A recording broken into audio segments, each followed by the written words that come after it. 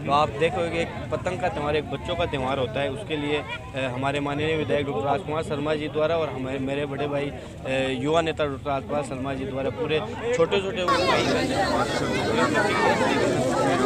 को ज़्यादा इसका पतंग वितरित किए जाएँगे। के आप देख हैं के इस पे डॉक्टर राजकुमार है। और सभी लोग मुस्कुरा रहे हैं क्योंकि मकर संक्रांति है।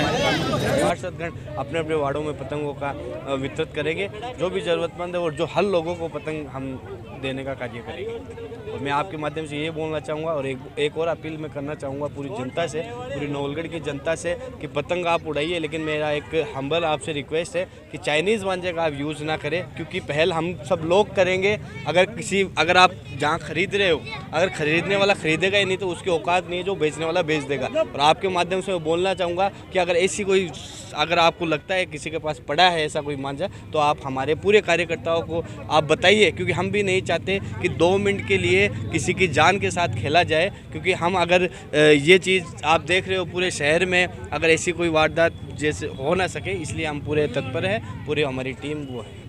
ये डॉक्टर राजकुमार शर्मा, राजपाल शर्मा जी ने कम से कम अठारह साल पहले ये पतंगों के बच्चों के साथ बांटने की मुहिम चलाई थी, वो लगातार चालू है।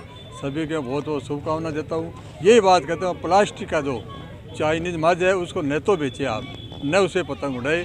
सभी को बहुत बहुत शुभकामना देता हूँ, सब मिलकर पतंग उड़ाए, बहुत बहुत शुभकामना